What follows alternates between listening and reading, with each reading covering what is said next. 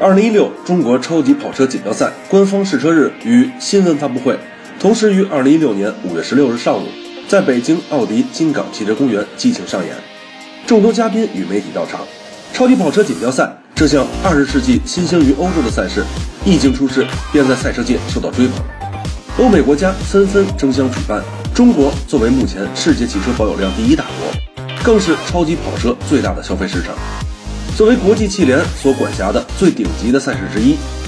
北京中视甲子文化发展有限公司经国家体育总局和中国汽车摩托车运动联合会批准，在二零一六年至二零二六年负责 China GT 未来十年的整体运营推广，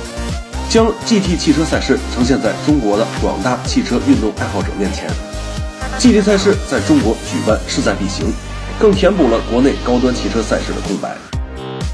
当现场嘉宾手中的红酒徐徐注入 China GT 中国超级跑车锦标赛纪念冰雕中时，现场沸腾了。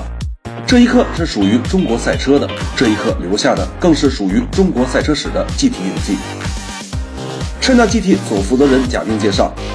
二零一六 China GT 共有四站，第一站将于六月十一日在北京金港奥迪汽车公园拉开战幕，随后将于七月、九月、十月份分别移师上海、成都、珠海。奥迪 R8 LMS、保时捷911 GT3 Cup、日产 GTR Nismo GT3、兰博基尼 Super Trofeo 等大家耳熟能详的 GT 赛车，都将出现在2016 China GT 的参赛名单中。酷六汽车北京报道。